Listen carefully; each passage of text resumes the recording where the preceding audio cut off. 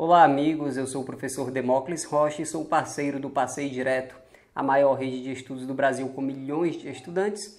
Eu tenho um perfil lá e estou sempre publicando novos vídeos. Confira, o link está na descrição. Hoje falarei um pouco sobre adição de frações.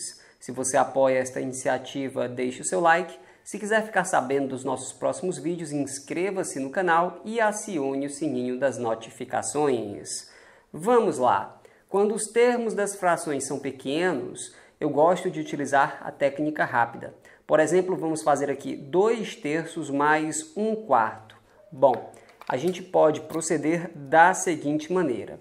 3 vezes 4, exatamente, a gente faz algumas multiplicações. 3 vezes 4 é 12, beleza. Agora, veja só, 2 vezes 4 você sabe que 2 vezes 4 é 8, ótimo. E você sabe que 3 vezes 1 é 3, não é verdade? Pronto. Então, olha só como que eu vou fazer para escrever o resultado. Como 3 vezes 4 é 12, eu anoto 12 bem aqui.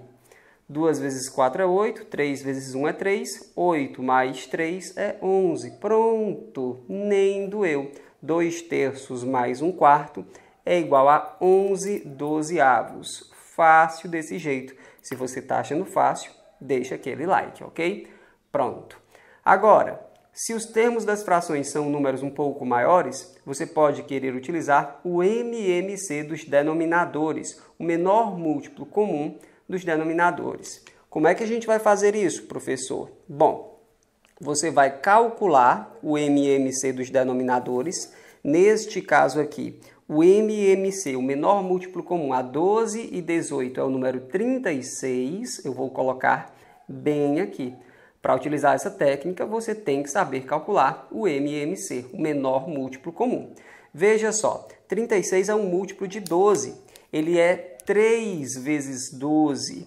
Então eu vou aqui em cima e multiplico por 3 de tal maneira que 3 vezes 5 é 15. Então, a gente pode dizer que 5 sobre 12 é uma fração equivalente a 15 sobre 36. Neste caso aqui, o 36 vai ser 2 vezes 18, não é verdade? Então, a gente vai e multiplica aqui em cima por 2, obtendo uma fração equivalente. 2 vezes 7 é 14, eu escrevo bem aqui. Ótimo. E o resultado, professor? Bom, é só repetir o 36 aqui. E agora, 15 mais 14 é 29. Pronto. 5 dozeavos mais 7 dezoitoavos é 29 36 avos. Fácil desse jeito. Agora, tem essa técnica aqui, que é a mesma dessa praticamente, mas quando um denominador é múltiplo do outro, fica ainda mais fácil.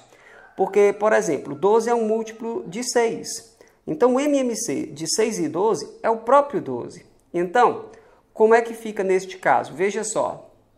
Como 12 é um múltiplo de 6, com essa segunda fração eu nem vou mexer. Como eu reparei que 12 é 2 vezes 6, aqui embaixo e em cima, basta que aqui embaixo e em cima eu multiplique por 2. 2 vezes 5 é 10, então, essa primeira fração ela é equivalente a 10 sobre 12, de tal maneira que o nosso resultado final vai ser 10 mais 11, 21. Então, 21 sobre 12.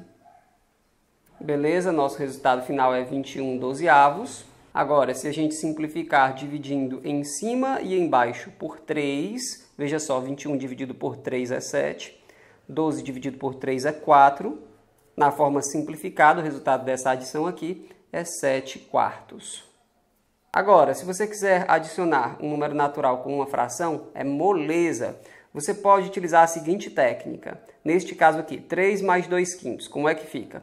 Você vai multiplicar aqui, ó, 5 vezes 3, cujo resultado é 15. Depois você vai adicionar o resultado com esse número aqui de cima. 5 vezes 3 é 15, aí 15 mais 2 é 17. Então, o resultado aqui é 17 quintos.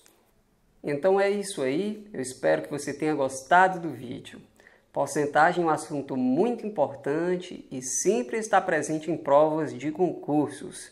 Se você está estudando porcentagem, pause o vídeo, tente resolver esta questão aqui. Eu fiz uma resolução para ela e publiquei no meu perfil do Passeio Direto. O link está na descrição. Um abraço e até a próxima. Tchau!